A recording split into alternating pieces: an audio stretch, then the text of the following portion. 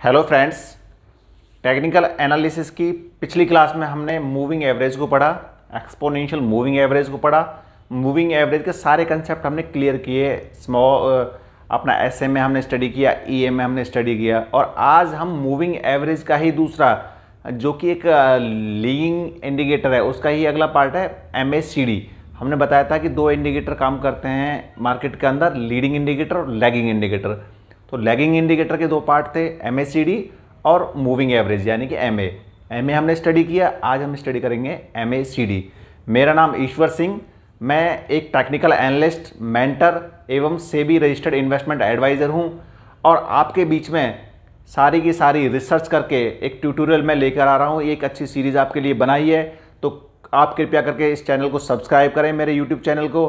ताकि मैं और अच्छी अच्छी वीडियोज़ आपके लिए लाता रहूँ, आपके बीच में एजुकेशनल ट्यूटोरियल स्टॉक मार्केट को लेके मैं पहुँचाता रहूँ। तो फ्रेंड्स एम बेसिकली है क्या? समझते हैं एम क्या है?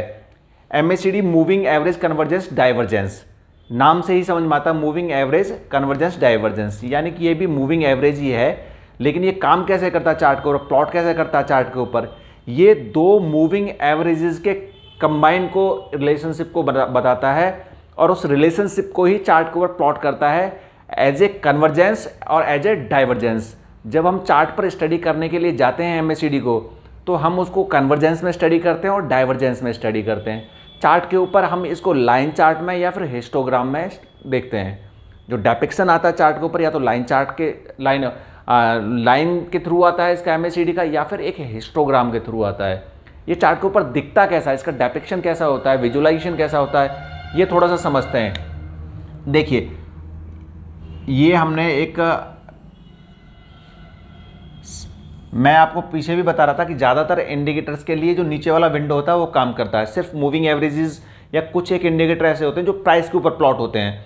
अदरवाइज़ बाकी इंडिकेटर्स प्राइस के नीचे प्लॉट होते हैं और उनके साथ हम उसको, प्राइस को कैलकुलेट करते हैं, इवेल्युएट करते हैं। ये एक लाइन हुआ। ये तो सिर्फ़ बाउंड्री लाइन है, ऊपर का लाइन नीचे का लाइन ये तो वो विंडो है। इन लाइनों को आप इग्नोर कीजिएगा, ये विंडो है सिर्फ़। आपका जो इंडिकेटर के अंदर जो यूज़ होने वाला लाइन है, वो ये लाइन है। इसको बोलते हैं ज़ीरो लाइन यानी कि ये ज़ीरो से स्टार्ट होता है। ये ज़ीरो लाइन कहते हैं इसको, ठीक है? अब इसमें क्या है कि नीचे कुछ नंबर्स होते हैं, कुछ इसमें वैल्यूज़ ऊपर की तरफ़ होती हैं। सपोज़ कि टेन ट्वेंटी यानी कि माइनस में। माइनस टेन, माइनस ट्वेंटी, ये टेन, ट्वेंटी। अब इसके साथ में मैं जैसे बता रहा था, आपको दो एवरेजेस काम करती हैं। यानी कि मूविंग एवरेज काम करता है मूविंग एवरेज के साथ में एमएसीडी काम करता है। इसका कैलकुलेशन कैसे निकल के आता है? कैलकुलेशन 26 डेज़ के ई e में से 12 डेज़ का ई एम सब्ट्रैक्ट करने के बाद में एक वैल्यू निकल के आता है, वो वैल्यू होता है एम तो ज़्यादा कैलकुलेशन में जाने की ज़रूरत नहीं है। और इसको किसके साथ में हम प्लॉट करते हैं? Nine days exponential moving average के साथ में। जो नाइन डेज़ का मूविंग एवरेज होता है, एक्सपोनेंशियल मूविंग एवरेज होता है, उसको बोलते हैं सिग्नल लाइन। और इसको जो होता है, इसको बोलते हैं एम देखिए, सपोज़ कि आपका ये एक डॉटेड, ये वाला आपका, ये लाइन है। ये कौन सा है आपका? Nine days nine days E M A ये वाला लाइन। इसके साथ में एक ये सॉलिड लाइन है।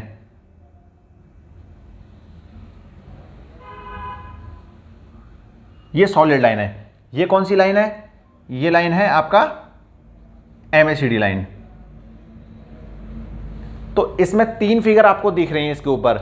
ये तो सिर्फ़ बाउंड्री है। इसके ऊपर तीन फिगर आपको कौन सी दिख रही है? आपको एक हॉरिजेंटल लाइन दिख रहा है सॉलिड लाइन जिसको बोलते हैं ज़ीरो लाइन अगला आपको दिख रहा है एक सिग्नल लाइन इसको नाइन डेज़ ईएमए को हम इसको सिग्नल लाइन भी बोल सकते हैं।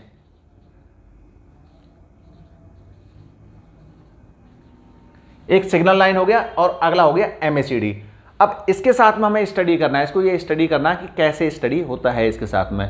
तो कैसे कैसे होता है? एक तो होता है इसमें centre line cross over centre line कौन सा है? ये आपका सेंटर लाइन है। ज़ीरो जब जब मार्केट इसके ऊपर जाता है, यानी कि मूविंग एवरेज जब इसके नीचे आता है तो इसको नेगेटिव मार्क करते हैं, यानी कि मार्केट बियर साइड में होता है। जब जब इसका क्रॉस ओवर आता है ऊपर की साइड में, तब तब इसको हम पॉजिटिव मार्क करते हैं, यानी कि बुलिस मार्केट ही बनता है। जितनी बार भी ये कन्वर्जन आपका क्रॉस ओवर आएगा, नीचे की साइड में क्रॉस ओवर आया मार्केट बियरिस ऊपर की साइड में क्रॉस ओवर आया मार्केट बुलिस एक चीज़। दूसरी चीज़, इसको हम प्लॉट करते हैं नाइन डेज़ ई के साथ में, जो कि सिग्नल लाइन है। सेम यही फॉर्मेशन इसके साथ में बनता है इसका। जैसा कि सेंटर लाइन के साथ में जो फॉर्मेशन बना था बनता है, है मूविंग एवरेज के साथ में जो नाइन डेज़ का एक्सपोनेंशियल मूविंग एवरेज है। अगर इसको इसने ऊपर की साइड में क्रॉस किया तो पॉजिटिव सिग्नल ये क्या था आपका? पॉजिटिव बुल सिग्नल यहाँ पे क्या है आपका? ये सिग्नल जो आपका आया बियर सिग्नल तो जितनी बार भी क्रॉसओवर बनेंगे अगर क्रॉसओवर ऊपर की साइड में बने बुल सिग्नल नीचे की साइड में बने बियर सिग्नल यानी कि जब nine days exponential moving average को एक एमएसीडी क्रॉस करता है तो इसका मतलब ये होता है ऊपर की साइड में अगर क्रॉस करता है, इसका मतलब ये होता है कि छोटा मूविंग एवरेज बड़े मूविंग एवरेज को क्रॉस करके जा रहा है। और मैंने आपको मूविंग एवरेज में पढ़ाया था, आपको बताया था कि जितनी बार भी छोटा एवरेज बड़ी एवरेज को क्रॉस करके ऊपर जाएगा तो उस टाइम फ्रेम के ऊपर जो मोमेंटम होगा प्राइस का, वो मोमेंटम अच्छा मोमेंटम होगा। तो ये आपको एक अर्ली इंडिकेशन दे देता है थोड़ा सा वैसे तो एवरेजेस चाहे मूविंग एवरेज हो, चाहे एम हो, ये प्राइस को फॉलो करते हुए जाते हैं, क्योंकि ये प्राइस ये ट्रेंड फॉलोइंग इंडिकेटर्स हैं। जैसे जैसे ट्रेंड मूव करता है वैसे वैसे ये फॉलो करते हैं। लेकिन फिर भी आपको कुछ अर्ली सिग्नल्स भी जनरेट करते रहते हैं। तो एक तो आपको ये हो गया, दूसरा क्या हो गया? Overbought oversold overbought zone में मार्केट कब जा रहा है? ओवरसोल्ड मार्केट जोन में मार्केट कब जा रहा है? ये आपको बताता रहता है। देखिए ज़ीरो लाइन को क्रॉस करके पॉजिटिव साइड में जाएगा तो ये आपका बुलिस सिग्नल लेकिन एक एग्जॉशन लाइन तक आपको चला गया तो यहाँ पे आकर ओवर बोट का सिचुएशन आ जाता है और ज़्यादा डाउन आ गया तो ओवर सोल्ड का सिचुएशन आ जाता है। लेकिन ओवरबॉट और ओवरसोल्ड एम इंडिकेटर से परफेक्टली जज नहीं किए जा सकते। दूसरी चीज़ ट्रेंड इज़ योर फ्रेंड हम हमेशा पढ़ते हैं। जब मार्केट बुल ट्रेंड में होती है तो बुल ट्रेंड में कोई भी ओवरबॉट जोन काम नहीं करता। वहाँ पर क्या काम करता है? मार्केट सपोज़ करो। देखिए, ये मार्केट का ट्रेंड है, ये मार्केट का ट्रेंड है। हम यहाँ पर ओवरबॉट सिग्नल हमें दिखा यहाँ पर। ये ओवरबॉट सिग्नल दिखा, लेकिन मार्केट का ट्रेंड कितना सॉलिड है? ट्रेंड इंटैक्ट है, बंधा हुआ ट्रेंड है, और पूरा फॉर्मेशन लेके आगे बढ़ता हुआ ट्रेंड है। तो यहाँ पर ओवरबॉट जो सिग्नल्स आएँगे, ये फॉल्स सिग्नल आने का पॉसिबिलिटी ज़्यादा रहेगा। मार्केट स्ट्रेंथ के अंदर है, अच्छे वॉल्यूम्स आ रहे हैं। मार्केट लगातार ऊपर की तरफ़ मूव कर रहा है। तो इसलिए मार्केट हो सकता है थोड़ा बहुत रिज्यूम करे और फिर से मार्केट ऊपर की तरफ़ मूव कर जाए। तो जब भी मार्केट जिस डायरेक्शन में होता है, उस डायरेक्शन में ओवरबॉट जोन हो या डाउन साइड में मार्केट उसी ट्रेंड के अंदर डाउन साइड में हो और सोल्ड अगर जोन में मार्केट आता है तो उन्हें हमें नल एंड वॉइड करना चाहिए। सिर्फ़ एक वार्निंग सिग्नल की तरह हमें उन्हें देखना चाहिए।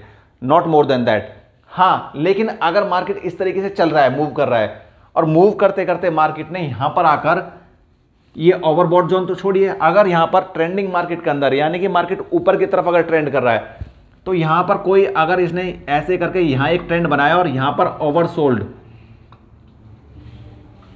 आपको मार्केट दिखाई पड़ता है तो ये बेटर काम करेगा। यानी कि बाइंग मार्केट के अंदर ओवरसोल्ड बेटर काम करेगा और सेल मार्केट के अंदर ओवर बॉट बेटर काम करेगा। तो मार्केट का ट्रेंड ऊपर की तरफ़ है, थोड़ा सा करेक्शन जो भी आया, यहाँ ओवरसोल्ड दिखा चार्ट के ऊपर। अब आप इसको एज ए बाय सिग्नल ले सकते हैं, क्योंकि यहाँ यहाँ जो ट्रेंड था, जो लॉन्ग टर्म ट्रेंड है, जो बड़ा ट्रेंड है उसका, वो इंटैक्ट है सॉलिड ट्रेंड है स्ट्रेंथ के साथ में मूव करता हुआ ट्रेंड है। तो यहाँ ओवरसोल्ड की कंडीशन में मार्केट ओवरसोल्ड हुआ तो हम यहाँ पर अपनी क्या कर सकते हैं? बाइंग अपॉर्चुनिटी फाइंड आउट कर सकते हैं। यहाँ बाय कर सकते हैं। दूसरे सिग्नल्स के साथ में हम इसको कोपअप कर लेंगे। ऐसे ही मार्केट अगर नीचे की साइड में मूव कर रहा है तो ओवरसोल्ड वाला जो कंसेप्ट आता है यहाँ वर्क नहीं करेगा ओवरसोल्ड का। लेकिन यहाँ पर आकर थोड़ा बहुत मूव करता है और ये पोजीशन ओवरबॉट किया जाती है। ओवरबॉट पर यहाँ से सेल सिग्नल जनरेट होंगे। क्या होंगे? सेल सिग्नल जनरेट होंगे और पॉसिबिलिटी रहेगा मार्केट का वापस नीचे आने का। क्योंकि पीछे का जो ट्रेंड है, वो बहुत सॉलिड और इंटैक्ट और बहुत ही स्ट्रेंथ के साथ में ट्रेंड बना हुआ आ रहा था। थोड़ा सा मार्केट ने ब्रीथ किया, थोड़ा सा मार्केट मूव किया ऊपर की तरफ़, लेकिन वापस से हमें ओवर सोल्ड के सिग्नल्स आने लगे। जब हमें ओवरबॉट के सिग्नल आने लगे, लेकिन जब हमें ओवरबॉट के सिग्नल आए, तब हम इसको एज ए ट्रेडिंग सिग्नल मानेंगे। लेकिन जब जब हमें नीचे की मार्केट में ओवरसोल्ड सिग्नल आएँगे, हम उसे वार्निंग सिग्नल मानेंगे। ऊपर की मार्केट में जो सिग्नल आएँगे ओवरबॉट के, तब भी हम उन्हें वार्निंग सिग्नल मानेंगे, लेकिन वहाँ करेक्शन पर जो ओवरसोल्ड आता है, वहाँ ही हम उनको बाइंग सिग्नल मानेंगे। ठीक है? ये ओवरबॉट और ओवरसोल्ड का जोन हुआ। अगला क्या है हमारे पास में? डाइवर्जेंस डाइवर्जेंस कैसे काम करता है? डाइवर्जेंस में इसी में एग्जांपल ले लेते हैं हम। डाइवर्जेंस एक नया एग्जांपल चलो लेते हैं। ये मार्केट का ट्रेंड है। ये मार्केट का ट्रेंड है। और यहाँ इस विंडो के नीचे आपका एमएसीडी काम कर रहा है। एमएसीडी क्या काम कर रहा है?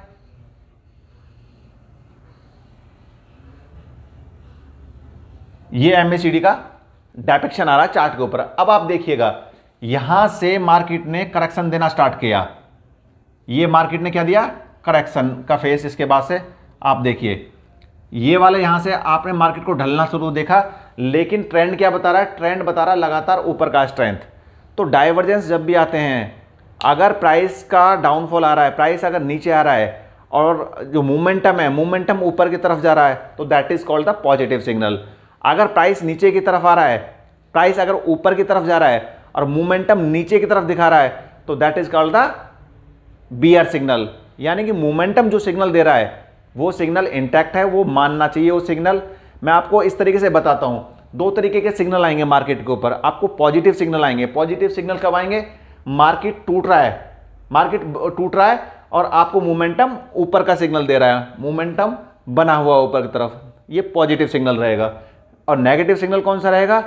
मार्केट नीचे आ रहा है। मार्केट मार्केट ऊपर जा रहा है और सिग्नल मोमेंटम नीचे की तरफ़ दिखा रहा है आपको। मोमेंटम ने वीकनेस दिखाई, लेकिन आपका ट्रेंड ऊपर की तरफ़ है तो वो नेगेटिव सिग्नल है। यानी कि मोमेंटम जो सिग्नल दिखाएगा, उस सिग्नल के हिसाब से चलना है। प्राइस पे डाइवर्जेंस आ रहा है तो मान लेना चाहिए कहीं ना कहीं उस ट्रेंड के अंदर वीकनेस है। ठीक है? मैं एक एग्जांपल आपको देता हूँ। अगर एक क्रिकेट का मैच चल रहा है उसमें एक खिलाड़ी खेलने के लिए आता है तो स्पेक्टेटर्स जो बैठे हुए होते हैं, उनको दिखता है कि एक वेल सेटल्ड खिलाड़ी है अच्छा फिटनेस है, अच्छी फिटनेस के साथ में खेल रहा है। लेकिन कहीं ना कहीं वो इंजर्ड है, और इंजर्ड कैसे है वो? अंदर से इंजर्ड है हिडन इंजर्ड है, वो दिखाई नहीं पड़ रहा। किसको दिखाई पड़ रहा है वो? फिजियोथेरापिस्ट को पता है कि ये खिलाड़ी इंजर्ड है। तो होगा क्या? इंजर्ड खिलाड़ी क्या उतना अच्छा परफॉर्म कर पाएगा? नहीं कर पाएगा। लेकिन देखने वालों को क्या दिखेगा?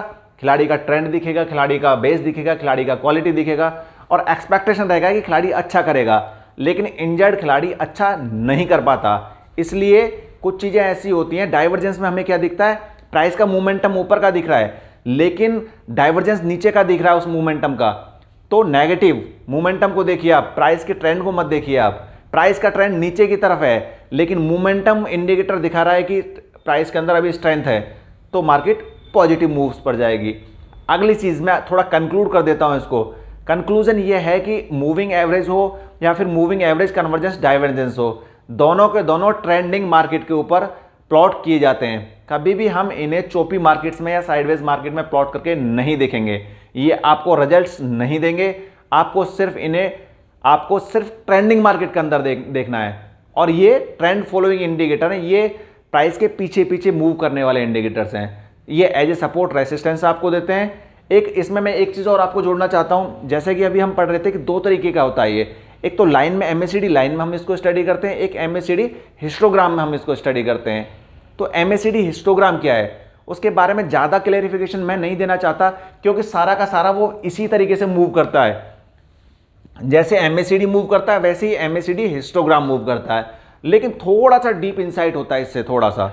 सारे के सारे फॉर्मूलेज सारे की सारी कैलकुलेशंस सारी की सारी, इसमें विजुअलाइजेशन सच लाइक दैट है एम तो अगर आप एम हिस्टोग्राम को भी अपने चार्ट के ऊपर प्लॉट करना चाहें तो वो भी प्लॉट कर सकते हैं। अगर आप एम हिस्टोग्राम प्लॉट करते हैं तो आप एम छोड़ दीजिए। बिल्कुल उसी तरीके से, जैसे कि एसएमए था सिंपल मूविंग एवरेज और एक्सपोनेंशियल मूविंग एवरेज कोई सिंपल मूविंग एवरेज को कैलकुलेट करता है, कोई एक्सपोनेंशियल मूविंग एवरेज को कैरी करता है। तो दोनों में से किसी को भी कीजिए वैल्यूज़ देते हैं दोनों के दोनों, लेकिन एमएसीडी हिस्टोग्राम थोड़ा वेटेड होता है, लेकिन ज़्यादातर लोग उसको इस्तेमाल नहीं करते।